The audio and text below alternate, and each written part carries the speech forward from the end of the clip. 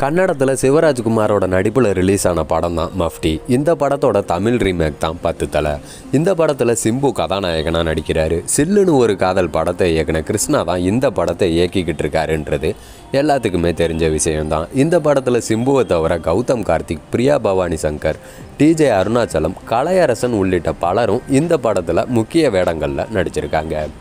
Gangster கதையில் உருவாயிட்டிருக்க இந்த படத்தோட கிளிம்ஸ் காட்சிகள்லாம் பார்த்தீங்கன்னா சிம்புவோட பிறந்த நாள் அன்னைக்கு ரிலீஸ் பண்ணாங்க.